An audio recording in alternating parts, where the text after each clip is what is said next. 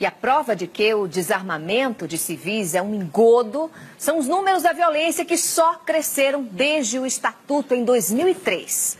O país se tornou uma zona de guerra onde só um lado está armado o da bandidagem. As pessoas de bem não têm mais o direito de se defender. Com o Estatuto do Desarmamento, nos tornamos ao mesmo tempo vítimas da lei e reféns da violência, porque as campanhas desarmaram o cidadão, mas não os criminosos. E como o Estado é incapaz de proteger a sociedade, estamos nas mãos de bandidos e malfeitores que se impõem pelo poder de fogo.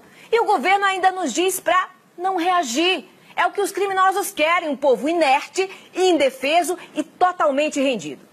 Quanto mais vulnerável é o cidadão, mais violento é o criminoso. O Estatuto tirou de nós o direito natural da legítima defesa e nos entregou como ovelhas para o sacrifício.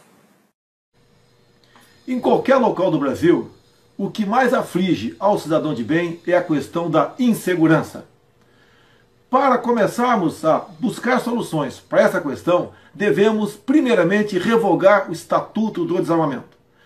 Todo cidadão de bem que assim o desejar poderá ter o direito de ter uma arma de fogo dentro da sua residência, bem como flexibilizarmos a questão do porte de arma de fogo.